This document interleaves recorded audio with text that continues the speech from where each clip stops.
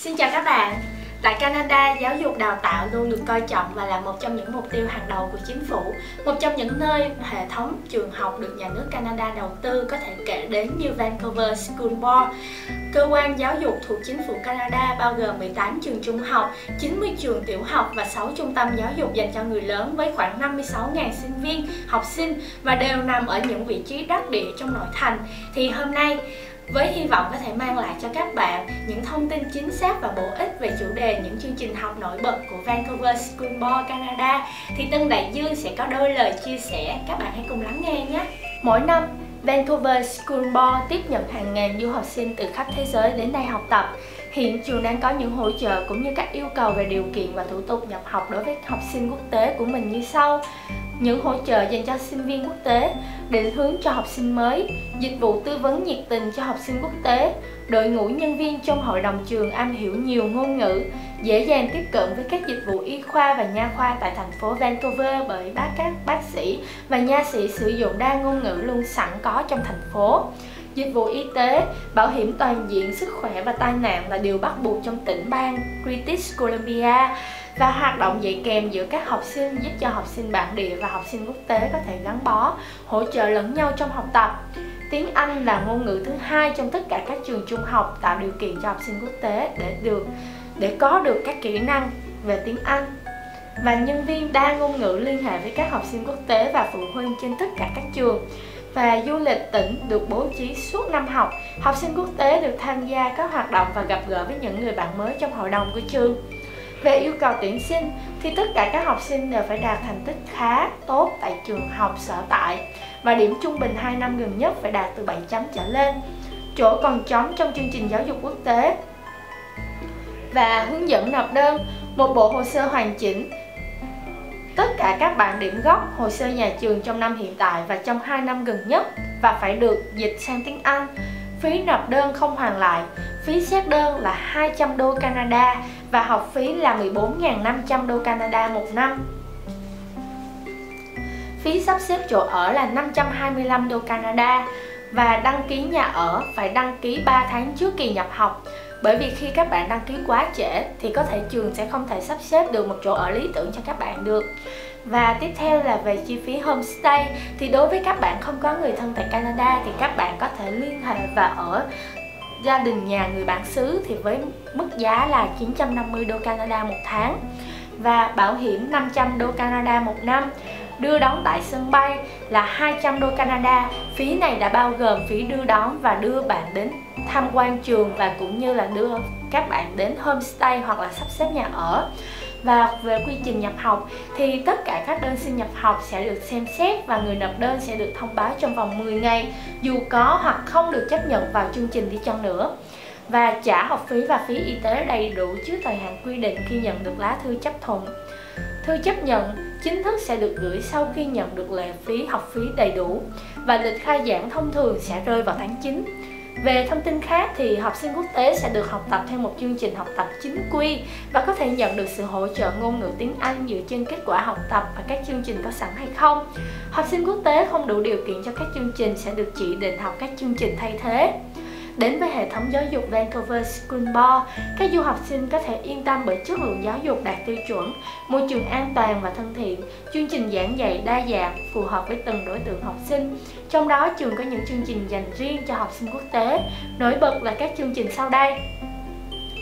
Thứ nhất là tốt nghiệp trung học. Học sinh quốc tế tiếp tục việc học của họ tại một trường ở Vancouver cho đến khi họ hoàn thành yêu cầu để tốt nghiệp trung học tại tỉnh British Columbia. Và thứ hai là khóa ngắn hạn, chương trình học trung học ngắn hạn từ 3 tháng đến 1 năm nhằm giới thiệu cho học sinh quốc tế về cuộc sống học tập của Canada. Học sinh có thể đăng ký vào tháng 9, tháng 1, tháng 2 hoặc tháng 4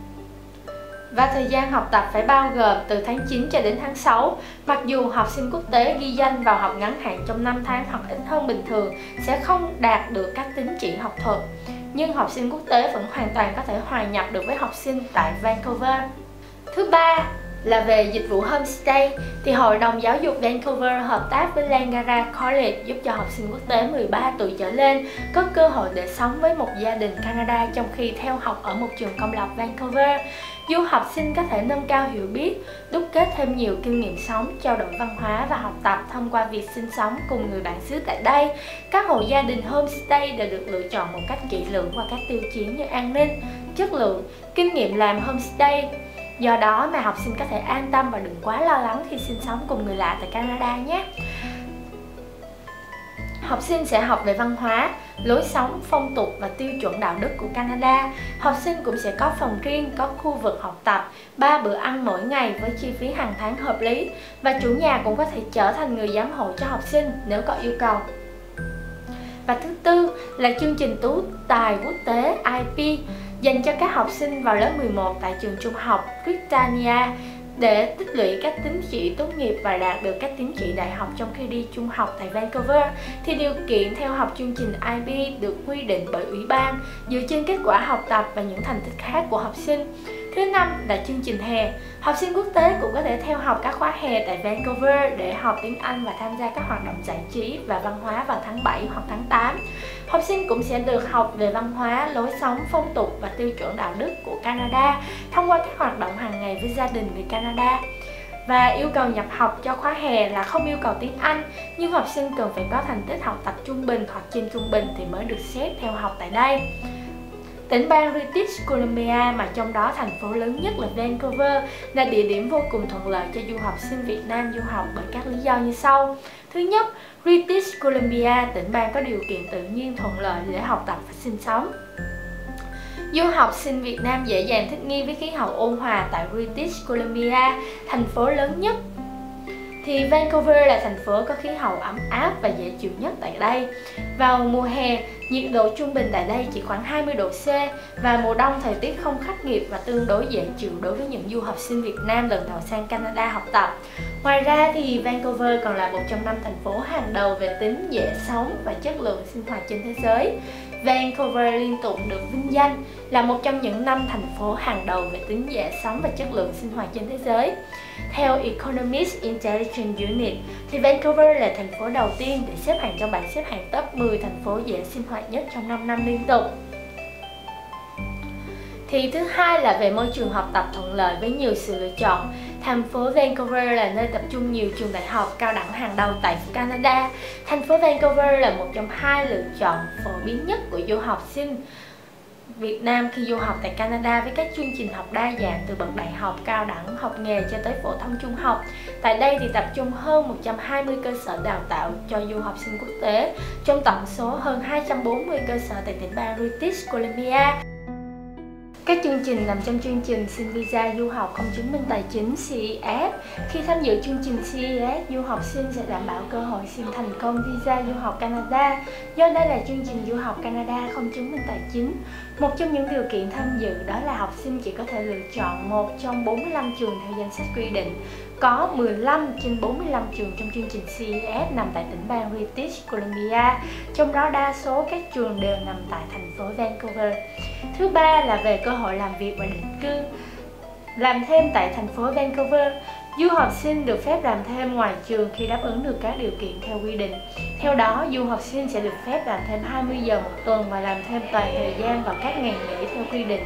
Các công việc mà du học sinh thường làm khi học tại Vancouver, ví dụ như phục vụ tại nhà hàng ăn uống và các quán cà phê, làm nail, làm cho nhà hàng và event trong campus hoặc là bán hàng và việc làm sau tốt nghiệp cho du học sinh Việt Nam, sự phát triển kinh tế mang đến nguồn việc làm phong phú cho du học sinh sau khi tốt nghiệp tại tỉnh bang British Columbia,